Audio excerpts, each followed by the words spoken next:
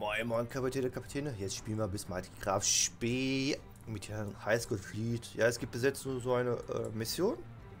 Ich habe ich ein bisschen gespielt, bin fast ja durch. Äh, ja. Die Graf Spee, hier kann man ja die, die Schiffe, ich habe die Musashi ja schon mal gespielt. Ähm, die Graf Spee habe ich soweit fahrt. Hasekase habe ich viermal gespielt. Die, die äh, Kotena kann man ähm, Feld, sagen normale Zufallsgefechte oder Koop gerade schnell durchpushen. Und bei den ähm, beim nächsten Feldzug, was den Franzosen kommt ja, ich glaube, es, ich habe mal gesehen, das habe ich schon mal ein Video angesprochen, es kommt ein Feldzug oder auch so eine Sammlung. Und dü, dü, dü, Sammlung, nee, da, ups, fast da will ich. So, mit den Highschool bin ich so weit durch. 28 von 35. Ich habe ja schon ein paar zusammengesammelt. Und deswegen, ja, die Dafür kriegt man ja die ähm, Yamato-Flagge und die Flagge für die. Äh, ich glaube, muss die. Ich glaube, Musashi, oder? Nee. Steht ja nichts dabei, von, was für eine Flagge steht. Äh, für welche Flagge? Ich glaube, für den Musashi. Und, ne, hier unten ist für die Flagge Musashi. Ups. Falsch gesehen. Und ja, ich bin ein bisschen weit. Ich ich, ich gucke mal, ich, äh, ich, gucke mal den Charakter mal ein bisschen. Meistens von den Damen sind, sind ganz komische äh, Lieblingsfach, finde ich ein bisschen gruselig. Einer, einer, einer liebt Psychologie, einer liebt Wirtschaft. Oder, oder, oder ansonsten irgendwas. Alter, nee. Naja. Und ich habe in dem letzten Video angesprochen mit dem CV-Baum. Mm. Oha. Und deswegen.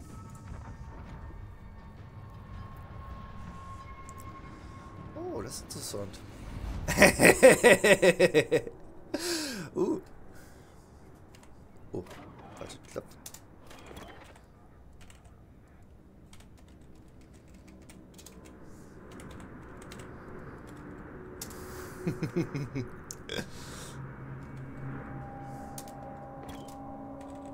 Und deswegen. ein bisschen, ein bisschen HL schießen und ja, ich würde mich freuen. Mir mit dem neuen CV bauen. Wenn überhaupt mal langsam einen ankommt. Deswegen. Weil neue Kreuzer, neue Schlacht, okay, es kommt neue Kreuz, äh, neue Schlachtschiffbaum, Kreuzer. Aber ich habe mir ist wirklich so, die Flugzeugträger ein bisschen zu leicht benachteiligt immer ein bisschen. Deswegen, okay, aber die Flugzeugträger machen auch ein Spiel schon und auch wenn man ein guter TV-Spieler ist, ja, es gibt ja wirklich Leute, sowas von krank auch und ja, also alle, äh, ja. Ähm,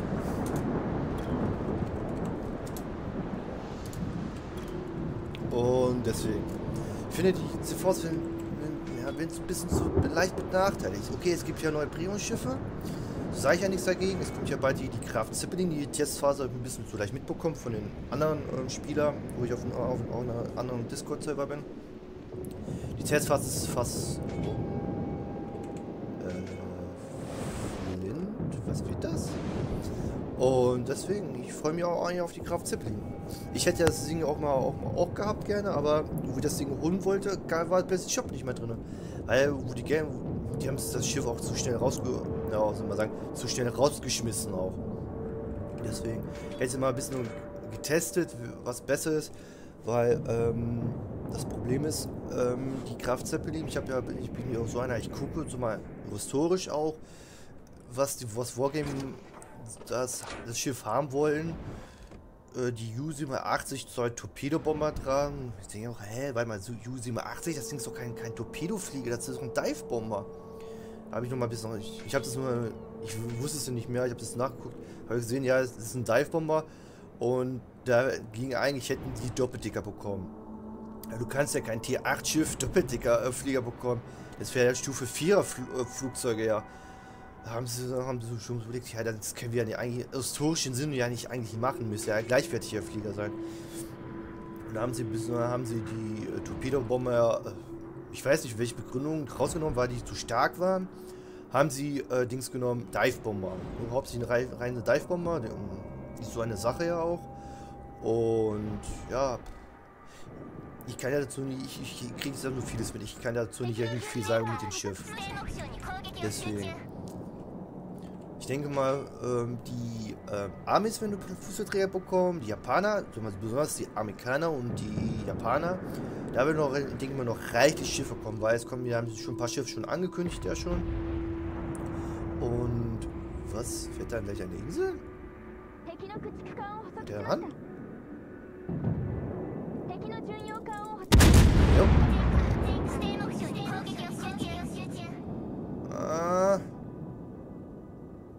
Jawohl!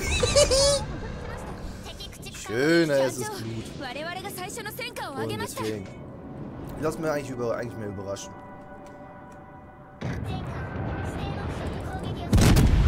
Na, T22? Ach, es geht zu weit weg. Ne? Boah, oh, boah, T22 ist fast down. Er läuft. Und deswegen, ich denke mal, Japaner und die Amis werden noch sehr viele Schiffe bekommen, weil die Japaner und die Amerikaner äh, mit den Schiffen waren sie historischen Sinn, hatten sehr viele.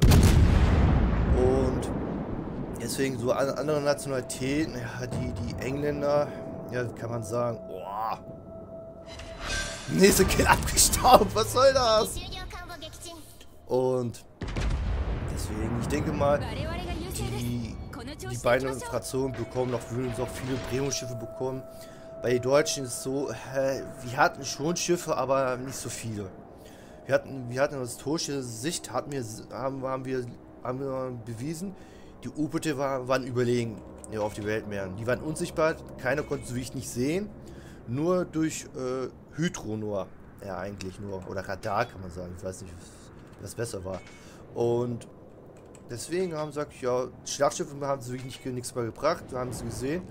Scheiße, Flugzeugträger waren doch ähm, überlegene äh, äh, Schiffsklasse. Haben sie, haben sie die Schlachtschiffe Grunde gar nicht mehr weitergeführt. Haben gesehen, das würde nichts mehr bringen mehr. Und da haben sie dann umentschieden lieber auf U-Boote.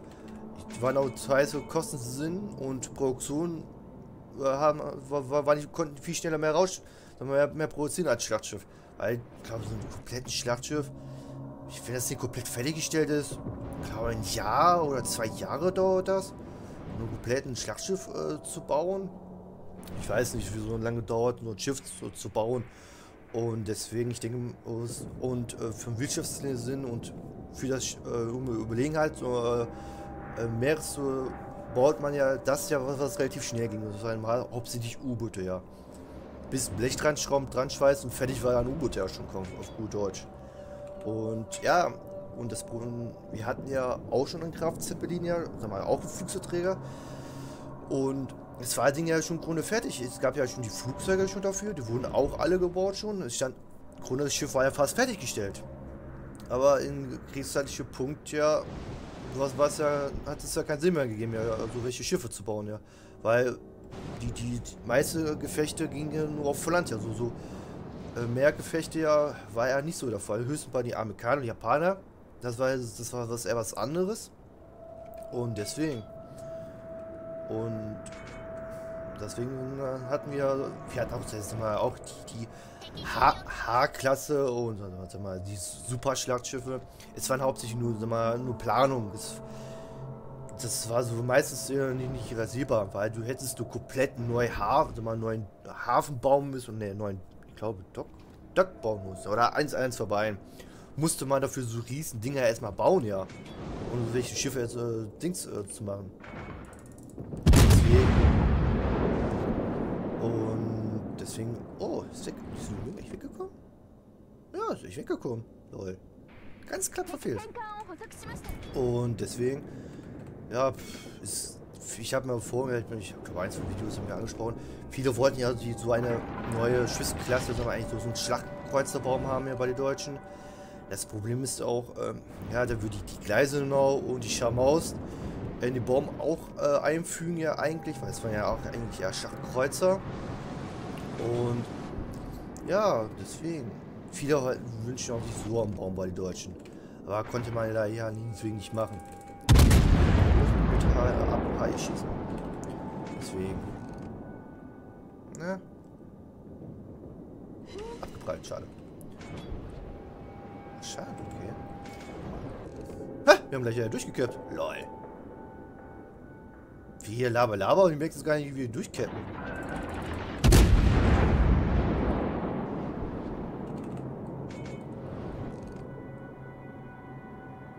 Ja, schön. Auch nochmal getroffen.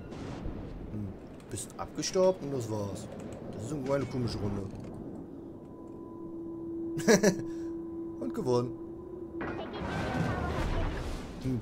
Das war eine komische Runde. Und deswegen. Schön. Okay, Mittelfeld. Ich hab fast überhaupt nichts was gemacht. das ist bescheuert.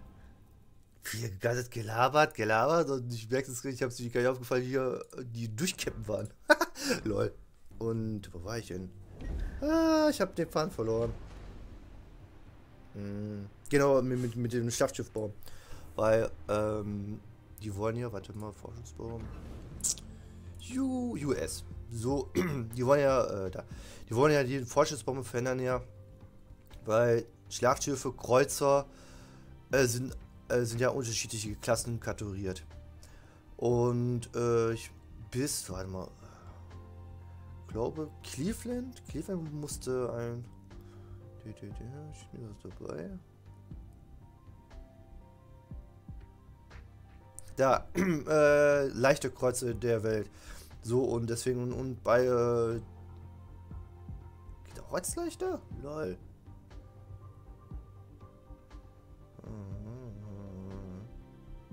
Okay, das ist nicht, aber die Pepsi Cola.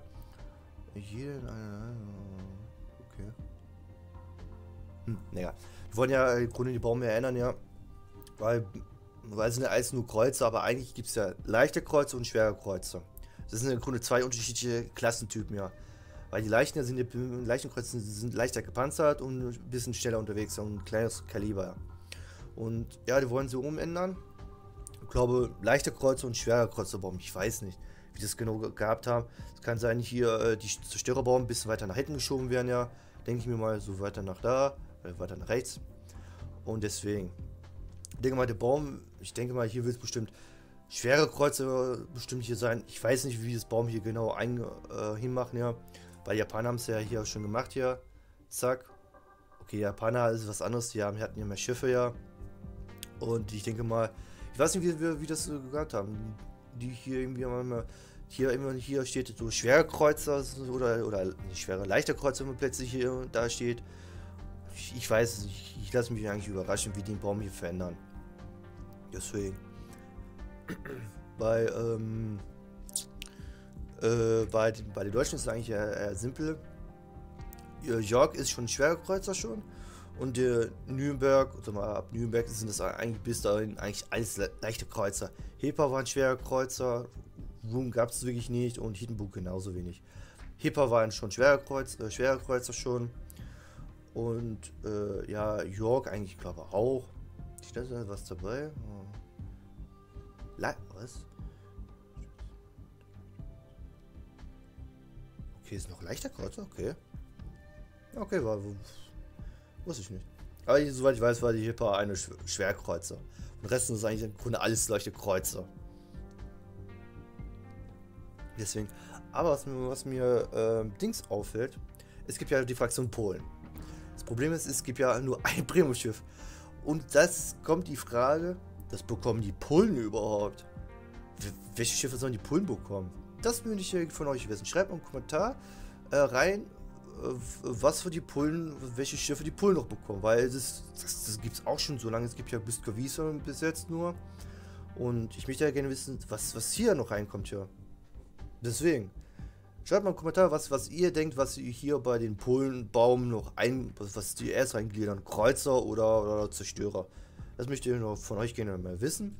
Da würde ich sagen, wünsche euch noch einen schönen Tag und noch einen schönen Abend. Haut rein.